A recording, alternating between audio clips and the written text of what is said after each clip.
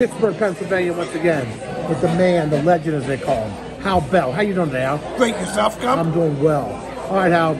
Pittsburgh Penguins didn't make the playoffs. This is the legend predicted. Yes. When they Yes. were four points ahead. Yes. I just I didn't agree with you. Uh, they have fired Hextall and Burke.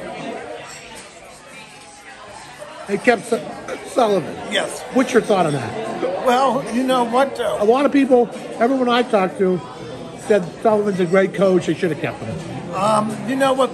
A lot of times, there's been a lot of great coaches in hockey, and a lot of them don't last in one place over five years because it seems like hockey's a sport of rhythm. Right. And it, and it's a sport on a system that the coach puts in. Well, sometimes systems just just run it, just just do their time, and that's Right. it. And and the message starts to get Expiration stale. Yes, and and the message starts to get stale. Okay. I mean, there's only so many motivational speeches that Sullivan could just uh, gift to the players. And they Okay. said that uh, they said that uh, he's going to be in the decision-making process. Why would you want a guy on a decision-making process who who who who hasn't won a playoff series in 2018, and he didn't make the playoffs this year?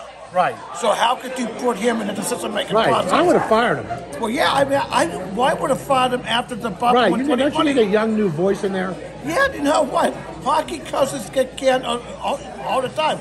That Cassidy for Boston got fired a couple of years ago. They brought in this guy. Where's Trotz now? Is he around?